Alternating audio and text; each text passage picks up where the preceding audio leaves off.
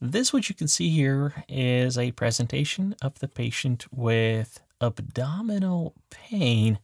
And this patient is a young female in her 20s, but she presents not only with abdominal pain, she also suffers from constipation and diarrhea, both sometimes constipation, and sometimes diarrhea. This patient also reported that she feels better after defecation, and she also didn't exhibit any signs of weight loss. She didn't report bleeding.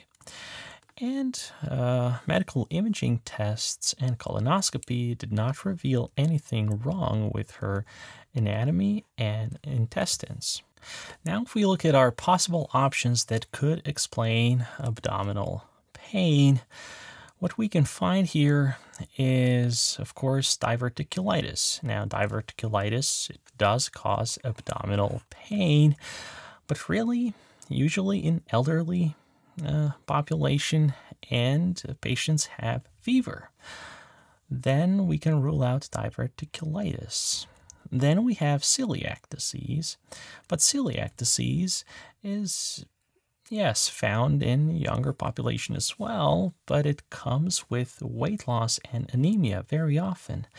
This patient, however, does not have anemia and weight loss. The second option we have here is uh, the inflammatory bowel disease, but inflammatory bowel disease also comes with weight loss and bloody diarrhea. For example, ulcerative colitis, which is an, an inflammatory bowel disease, has ulcers in the colon and then they can bleed. This results in a bloody diarrhea. What truly defines it in a good way is abdominal pain with persistent diarrhea, whereas this patient has sometimes diarrhea and sometimes constipation.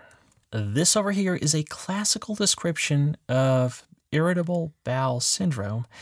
And if you want more explanations like these, or if you have more questions, then go to symptomsky.com.